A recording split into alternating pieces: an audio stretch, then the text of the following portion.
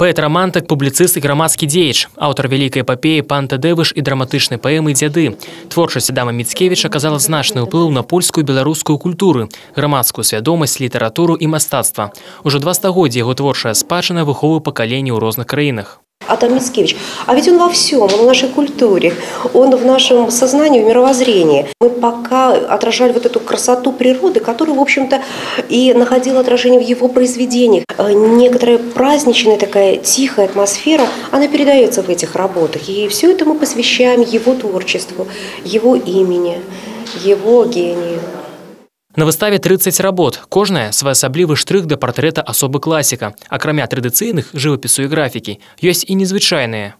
Моя работа – это литеринг портрета Адама Мицкевича. Литеринг – это рисование слова. То есть я выбрала стихотворение и э, строчками из этого стихотворения выполнила портрет. Большинство стихотворений Адама Мицкевича печальные, грустные. Э, именно это больше всего впечатлило меня в его творчестве. Уся экспазіцыя быццам асобны маленькі сусвет, здольны на некаторы час перанесці гледача ў далёкія літаратурныя будні пісьменніка і гады дзяцінства. Гений Мицкевича принадлежит всему миру. Он объединяет страны и народы. Творчество Мицкевича, его поэзия – это само воплощение творческой свободы, счастья и радости творить. И поэтому оно всегда находит и будет находить отклик в душах потомков. Наведаць выставу вандроўнік свабоду ў брэсцкі музей выратаваныя мастацкія каштоўнасці можна да 9 снежня.